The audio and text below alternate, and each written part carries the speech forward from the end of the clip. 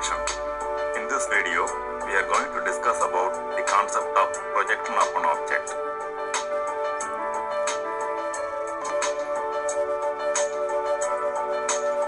Consider plane of projection, image, object and an observer. If rays of light are drawn from the eye of the observer to the object and are allowed to fall on a plane of projection, the object is said to be projected. Light are also called projectors. In the next video, we will see about orthographic projection. Orthographic projection.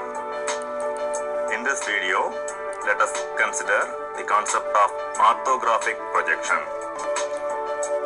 It is a projection method in which the rays of sight are parallel to each other and perpendicular to the plane of projection.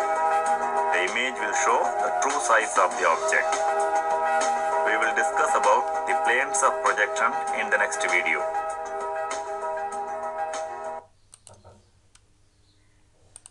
Planes of projection.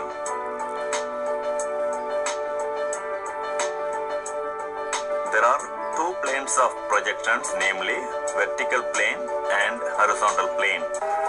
These two planes are at right angles to each other and form four quadrants, namely first quadrant, second quadrant, third quadrant, and fourth quadrant.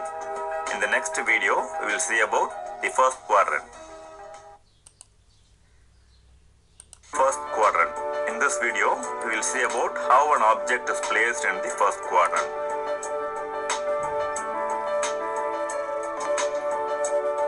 In this quadrant, the object is placed above the horizontal plane and in front of the vertical plane with respect to the observer.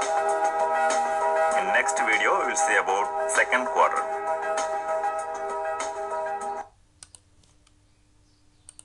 Second quadrant. In this video, we will see about how the object is placed in the second quadrant.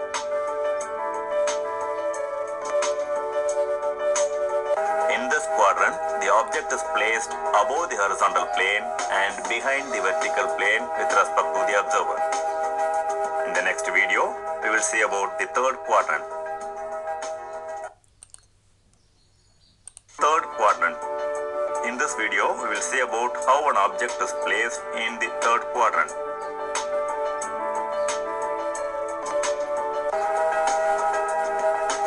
Quadrant, the object is placed below the horizontal plane and behind the vertical plane. In the next video, we will see about the fourth quadrant. Fourth quadrant. In this video, we will see about how the object is placed in the fourth quadrant.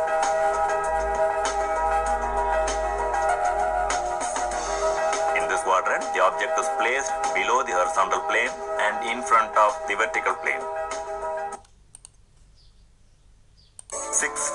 On the box. In this video, we will see about how a solid is projected on the six faces of a box. A solid is placed in a transparent box and the six views of the solid are projected on the six faces of the box.